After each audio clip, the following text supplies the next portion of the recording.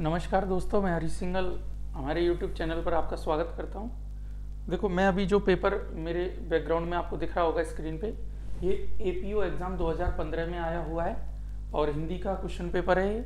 RPSC की website पर अगर आप जाओगे तो सेम यही पेपर आपको वहाँ पर डाउनलोड सेक्शन में मिल जाएगा।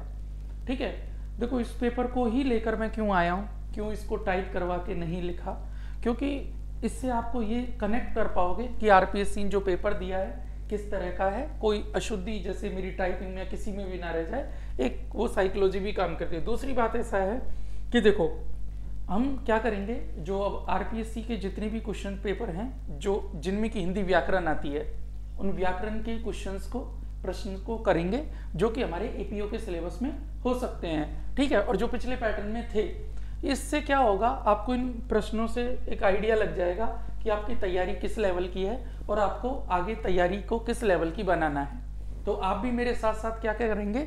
इन क्वेश्चंस को करेंगे और एक तरह से ये एग्ज़ाम तक चलने वाली एक ऐसी सीरीज़ होगी जो आपको आपकी लैंग्वेज के पेपर में बहुत बेहतर बना देगी। ठीक है जी मित्रों?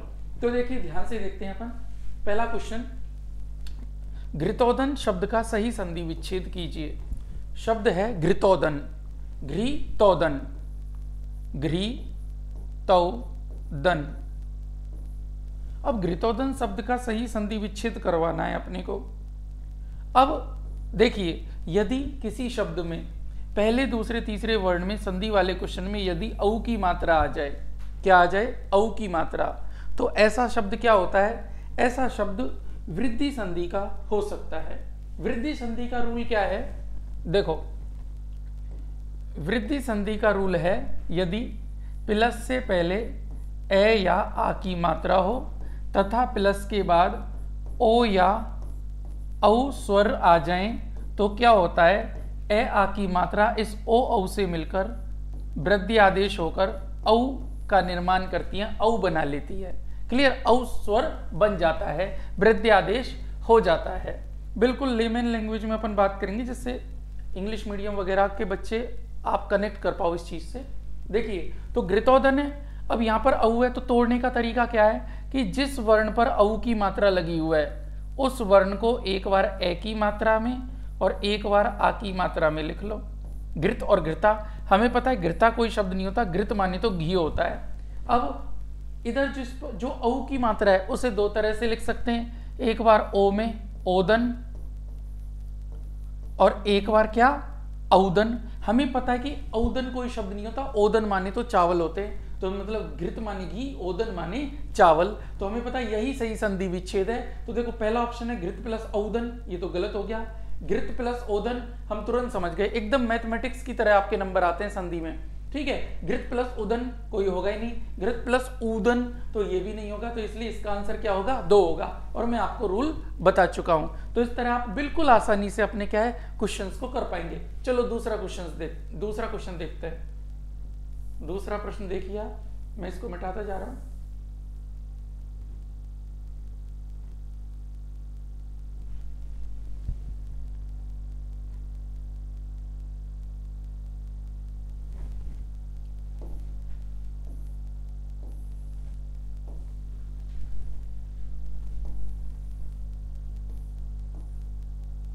ठीक है?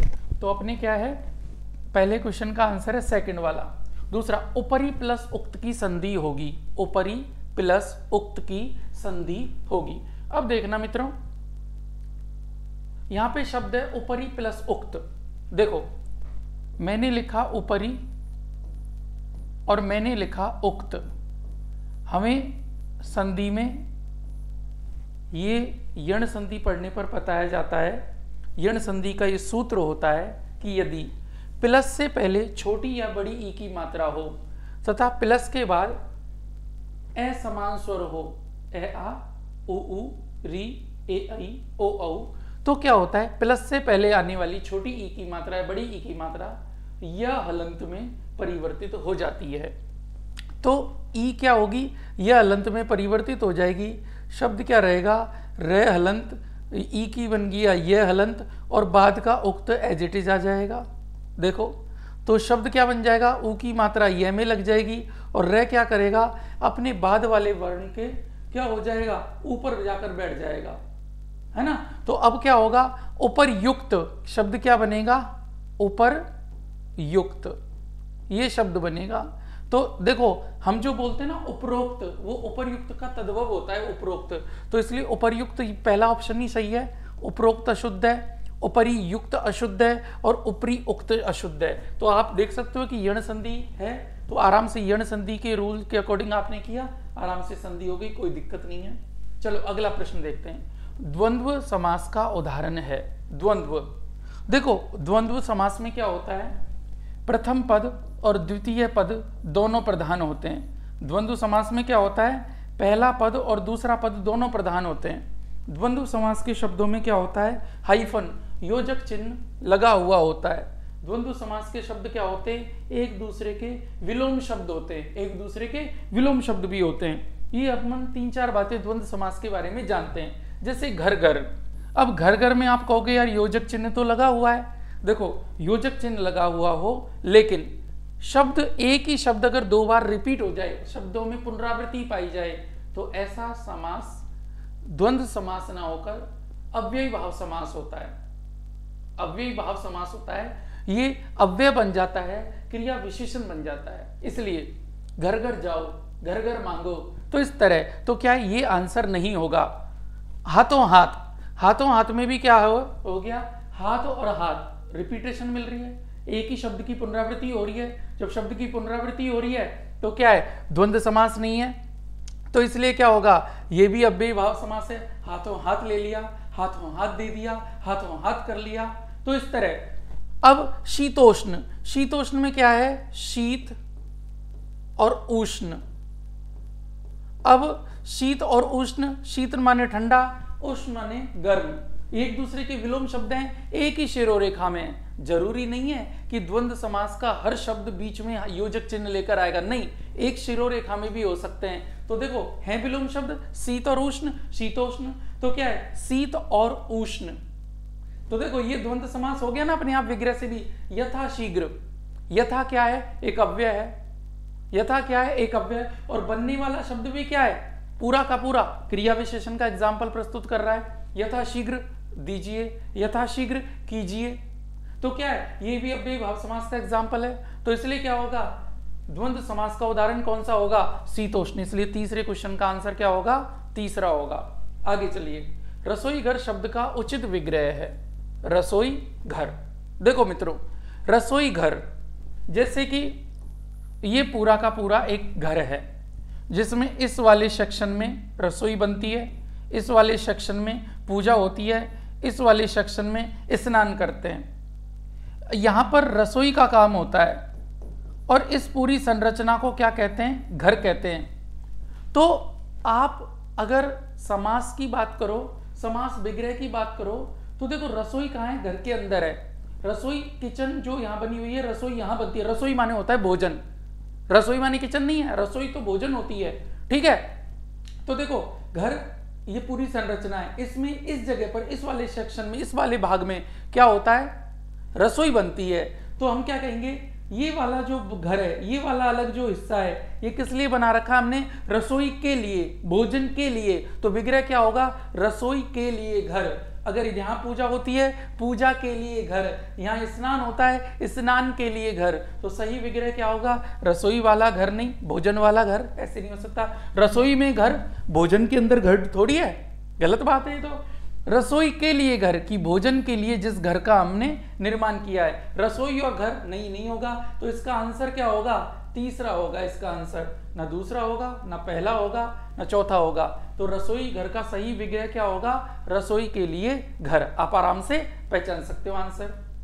किस शब्द में कृत प्रत्यय का प्रयोग हुआ है या किस शब्द में कृत प्रत्यय प्रयुक्त हुआ है? देखो, अपने प्रत्यय दो प्रकार के होते हैं। कृत प्रत्यय और तद्धित प्रत्यय। कृत प्रत्यय क्या होते हैं? क्रिया धातु जो होती है, उसके बाद जो प्रत्यय लगता है, उससे बनने वाला शब्द होता है, वो कृदंत कहलाता है और वो प्रत्यय क्या कहलाता है? कृत प्रत्यय क्योंकि क्रिया धातु के पीछे लगता है। तद्दित प्रत्यय वो होते हैं जो संज्ञा, सर्वनाम, विशेषण और अव्यय शब्दों के पीछे लगकर शब्द का निर्माण करते हैं। तो इसीलिए उन्हें तद्धितांत बोला जाता है। तो हम आसानी से ढूंढ सकते हैं। आपको ढूँढने का तरीका क्या है? कृत प्रत्यय में जैसे आपको शब्द को थोड़ा सा एक दो वर्ण के, उनको अंडरलाइन कर लो। अंडरलाइन करने के बाद आपको क्या करना है? कृत प्रत्यय पूछा है। मतलब क्रिया धातु में प्रत्यय लगकर बना हुआ होगा शब्द, तभी वो प्रत्यय कृत प्रत्यय कहलाएगा। तो देखो, आप क्या कर लो, चारों शब्दों में जो प्रत्यय हैं, उनसे पहले वाले वर्णों को थोड़ा अंडरलाइन करके नाना लगा के देख लो। जिसमें ना लग जाए, वो क्रिया धातु से बना शब्द है कृत प्रत्यय उसमें, बाकी में कृत प्रत्यय नहीं होगा। सिला, ई तो सिलना। ऊंचाई, ऊंचना, नहीं होता। बुरना, नहीं होता। मिठना नहीं होता कि मिठाई मीठे से बनाए, विशेषण है। बुरा, बुराई बुराई किससे बनाए? बुरा से, बुरा विशेषण है। ऊँचा, नीचा, ये क्या है? अव्यय शब्द है। तो ये ऊँचा प्लस आई ऊंचाई। नीचे प्लस आई निचाई। तो है ना, ये भी क्या है? अव्यय से बना शब्द है। तो यहाँ पर भी क्या है? अव्यय में प्रत्यय लगा हुआ है। इधर विशेषण में प्रत्यय है, इधर विशेषण में प्रत्यय है। तो ये तो तद्दित प्रत्यय के एग्ज़ाम्पल हो गए। तो कृत प्रत्यय का एग्ज़ाम्पल क्या होगा? सिलना प्लस आई बराबर सिलाई। तो ये कृत प्रत्यय वाला शब्द कौन सा हो गया? पहला। तो पांचवे का आंसर क्या होगा?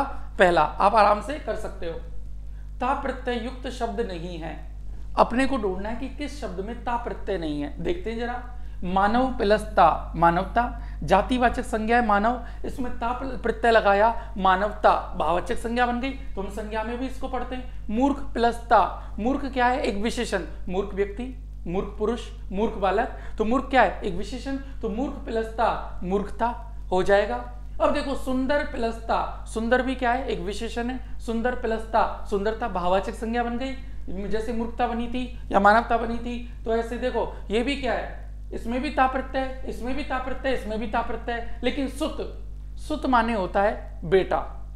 सुत पुत्र होता है। अगर सुत प्रत्यय, सुत शब्द में, बेटा जो शब्द है, सुत, उसमें आ प्रत्यय लगा देते हैं तो क्या बन जाएगा? स्त्रीलिंग शब्द बन जाएगा सुता, मानी बेटी। तो है ना, इसमें ता प्रत्यय नहीं है, बल्कि इसमें आ प्रत्यय है। इसलिए आंसर छठवे का क्या हो जाएगा? तीसरा। समझ रहे हो? अगला प्रश्न देखिए, सातवां। निम्नलिखित में से नी उपसर्ग रहित शब्द है कि ऐसा शब्द छाटिए जिसमें नी उपसर्ग के रूप में नहीं आया हो। तो देख लेते हैं, नी प्लस वास, निवास, वास का रहना होता है। नी प्लस डर डर से रहित। नी प्लस हत्ता, नी हत्ता हथियार से रहित, जिसके हाथ में कुछ नहीं है वैसा। नी प्लस चय, नहीं, ये तो नहीं हुआ, क्योंकि शय भी आ रहा है तो नी प्लस चय। क्या होगा? नी प्लस च या फिर अगर उपसर्ग का क्वेश्चन है तो अपने को, आपको पता होगा, ऐसा कोई भी उपसर्ग हिंदी में नहीं है, जिसके बाद विसर्ग लग जाए। ये सत्य बात है। हिंदी में नहीं है। ठीक है? तो क्या होगा?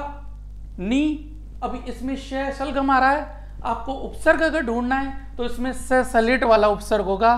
तो देखो, निस हलंत उपसर्ग होगा। निस प्लस च तो क्या हो जाएगा?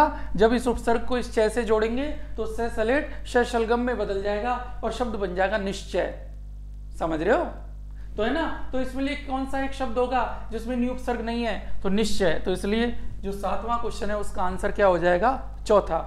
अगला देखिए, आठवां क्वेश्चन निम्नलिखित में से कौन सा शब्द देशज है? तत्सम, तद्भव, देशज और विदेशी शब्द आपके एपीओ के सिलेबस में टॉपिक है। आपको समझना होता है शब्द ज्ञान को, और शब्द ज्ञान का एक अच्छा टॉपिक है ये तत्सम तद्भव देशज विदेशी शब्द। देखिए, सब्ज़ी। ये देशी शब्द नहीं है, सब्ज़ी। गंवार तद्भव शब्द है। ग्रामीण से गंवार बना है तो मतलब ये भी देशी शब्द नहीं है। खार क्षार क्षार से बना है खार, जैसे क्षीर से खीर क्षार से खार। तो मतलब ये भी तद्भव शब्द है, ये भी तद्भव है, ये भी नहीं है, ये भी देसी नहीं है। मतलब ये तीनों तो देसी नहीं है। पर कबड्डी कबड्डी क्या है? कबड्डी एक देसी शब्द होता है। गाँव में चलता है ना, कप, देखो, वैसे तो क्या होता है कि हम संस्कृत में बोलते हैं कपरदी कपरदी कपरदी कपरदी कपरदी। वो कबड्डी कबड्डी कबड्डी कबड्डी, ऐसे तद्भव भी मानते हैं। लेकिन वैसे अगर देखें तो कबड्डी एक देशी ग्रामीण शब्द है।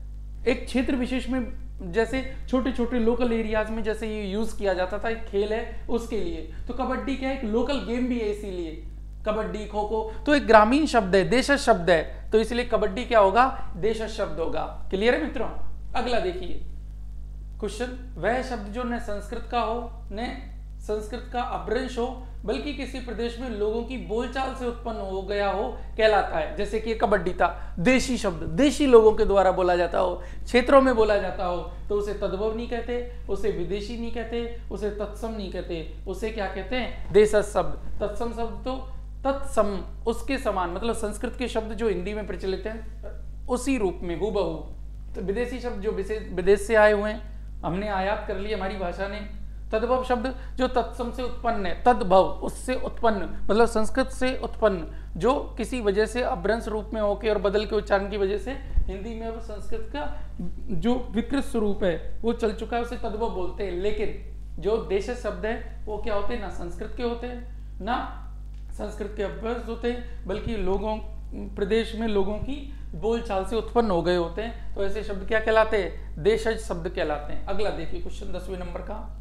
निम्नलिखित में से तद्भव शब्द छाटिए। शाप। शाप क्या है? अभिशाप। ऐसे बोलते हैं, शाप एक तत्सम शब्द है।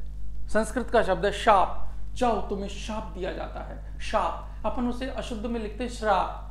तो जब भी आप किसी के सामने खड़े हैं और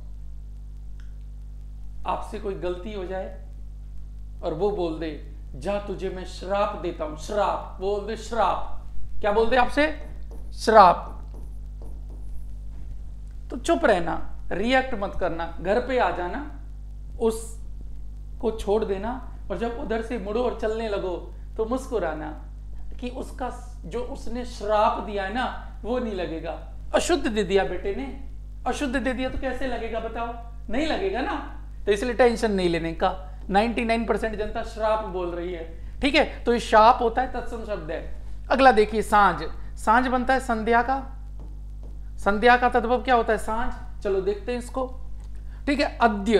अद्य का मतलब होता है अ, द, य। अद्य को तद्भव में क्या कहते हैं? आज। आज कहते हैं। तो मतलब ये भी तत्सम शब्द है, ये भी तत्सम शब्द है, विवाह। विवाह। विवाह को अपन कहते हैं ब्याह।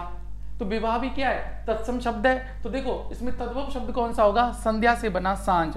तो देखो, दसवें क्वेश्चन का आंसर क्या होगा? दो। इस चीज़ को याद रखेंगे। अगला क्वेश्चन ग्यारहवा विशेषण से निर्मित संज्ञा शब्द कौन सा है?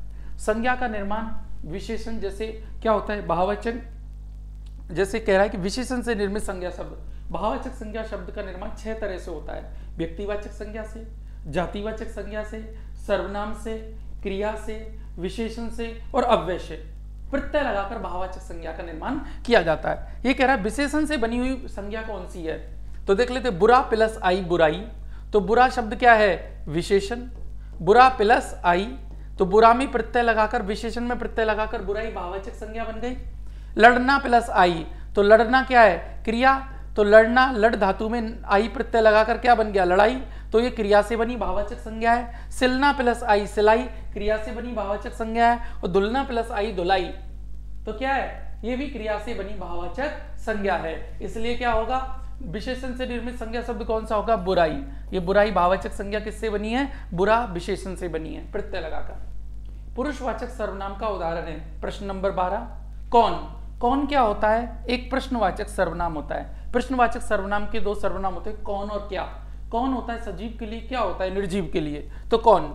जो जो और सो आते हैं संबंधवाचक सर्वनाम में। ठीक है जिसमें कार्य कारण का रिश्ता पाया जाता है। कोई कोई एक अनिश्चयवाचक सर्वनाम है, कोई कुछ। कोई होता है निर्जीव के लिए, ओ सॉरी, सजीव के लिए प्रयुक्त, कुछ होता है निर्जीव के लिए प्रयुक्त। ठीक है? उसका उसका, ये पूछ रहा है पुरुषवाचक सर्वनाम। देखो, पुरुषवाचक सर्वनाम में मूल रूप से होते हैं मैं और तू। तीसरा उसमें सर्वनाम होता है आप मध्यम पुरुषवाचक के रूप में जब रिस्पेक्ट के अर्थ में यूज़ किया जाए, आदर के अर्थ में यूज़ किया जाए, और अन्य पुरुष के रूप में जब यूज़ किया जा रहा होगा तो जिसके बारे में बात की जा रही होगी, वो आँखों के सामने नहीं होगा। वैसे ही, एक वह सर्वनाम भी यूज़ किया जाता है पुरुषवाचक सर्वनाम में वह वह हमेशा अन्य पुरुषवाचक सर्वनाम होगा, जैसे वह आज जयपुर गया है। वह आज दिल्ली पहुँच जाएगा। वह मुझे याद कर रहा होगा। तो देखो, आपको हाथ नहीं हिलाने पड़ रहे ना, क्योंकि वह एक निश्चयवाचक सर्वनाम है। निश्चयवाचक सर्वनाम का नाम संकेतवाची सर्वनाम है, और संकेतवाची सर्वनाम में क्या करना है? संकेत करना पड़ता है। तो वह यहाँ पर जैसे मैं कहता, वह मेरी टेबल है। वह मेरी पुस्तक है। मान लो, कहीं पे मेरी पुस्तक रखी, छत पे उसकी ओर इशारा कर रहा हूँ। वह मेरी साइकिल है। तो क्या होता? यहाँ पर वह मैं संकेत कर रहा हूँ तो निश्चयवाचक होता। लेकिन मैं कह रहा हूँ, वह आज जयपुर गया है। वह मुझे याद कर रहा होगा। तो वह हमारी आँखों के सामने नहीं है ना? तो वह वह का रूप है? उसका, उसकी, उसके। तो यहाँ पर क्या है? उसका। ये अन्य पुरुषवाचक के रूप में प्रयुक्त हुआ है, वह का रूप। तो याद रखेंगे, वह, आपको पता है सर्वनाम के रूपांतरक कौन होते हैं? कारक और वचन।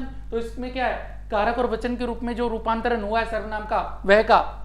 तो वो देख रहे हैं अपन। तो उसका क्या अन्य पुरुषवाचक सर्वनाम है। तो इसलिए आंसर क्या होगा? बारहवें का। चौथा। अगला देखिए। निम्नलिखित में से कौन सा शब्द समुच्च बोधक नहीं है? आपके अव्यय शब्द होते हैं। अव्यय शब्द पाँच है। क्रिया विशेषण, समुच्च बोधक, संबंध बोधक, विस्म्यादि बोधक और निपात। समुच्च बोधक बता रहा है कि कौन सा शब्द नहीं है। तो देखो, परंतु। आप विरोधवाचक जो समुच्च बोधक अव्यय पढ़ोगे, उसमें परंतु पढ़ोगे।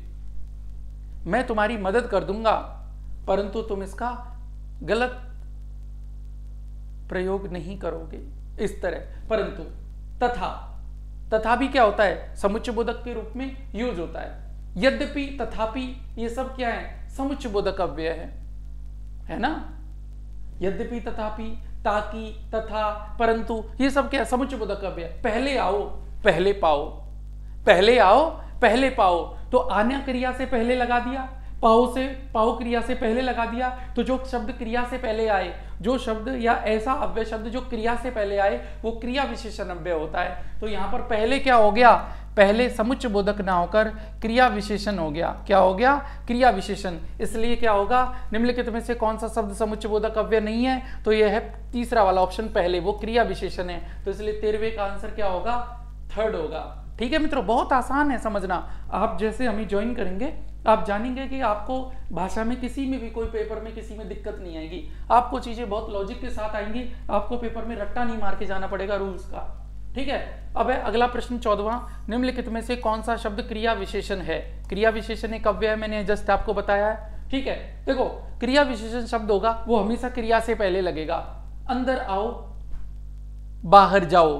अंदर आओ, आने के, आना क्रिया से जस्ट पहले लगा, अंदर आओ। तो क्रिया विशेषण यही हो गया। पर चलो अगला ऑप्शन देखे। एक लड़का, एक लड़की, एक क्या है यहाँ पर? निश्चित संख्यावाची विशेषण है, गणनावाचक विशेषण है तो ये तो नहीं होगा। वाह वाह विस्मयादि बोधक अव्यय तो ये भी नहीं होगा। तथा समुच बोधक अव्यय तो ये भी नहीं होगा। तो आंसर क्या होगा? अंदर। ये क्रिया विशेषण है। क्या है? ये क्रिया विशेषण क्रिया से पहले लग रहा है। चौदहवें का आंसर होगा पहला। पंद्रवा क्वेश्चन, काल के अनुसार किन शब्दों में परिवर्तन नहीं होता? आपको पता है, लिंग वचन कारक, काल पुरुष विकारक होते हैं। इन, इनकी वजह से क्या होता है? विकारी शब्दों में परिवर्तन होता है, विकार उत्पन्न होता है। विकारी शब्द संज्ञा, सर्वनाम, क्रिया और विशेषण। ठीक है? अब देख लेते हैं इनमें से सर्वनाम एक विकारी शब्द है तो उसमें क्या होगा?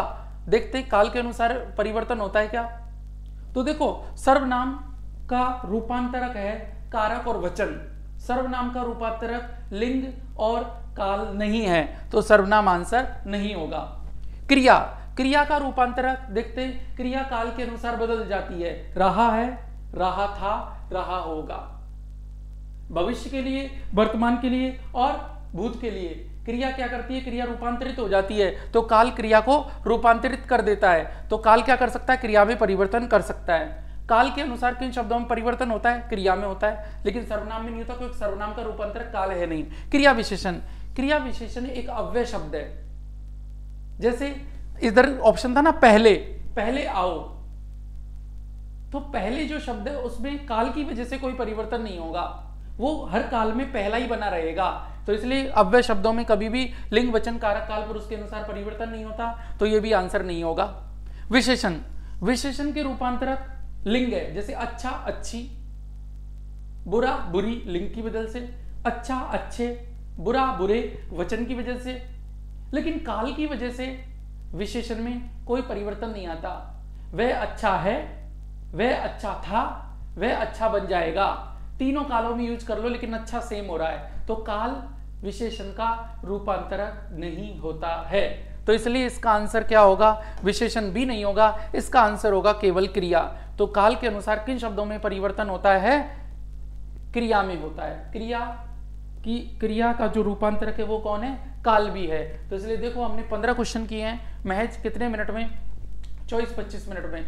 ये पार्ट वन है। मैं इस पूरे पेपर को समझाऊँगा। इसमें 50 क्वेश्चन है जो एपीओ में पिछले बार आए हुए हैं। तो तीन वीडियो में ये 50 क्वेश्चन अपन कर लेंगे। ठीक है? छोटी छोटी वीडियो जल्दी जल्दी क्विकली आप कोई भी काम करते समय इस तरह क्वेश्चंस देखते रहेंगे। आपकी प्रैक्टिस होती रहेगी। आपको मार्केट से कोई बुक नहीं खरीदनी पड़ेगी।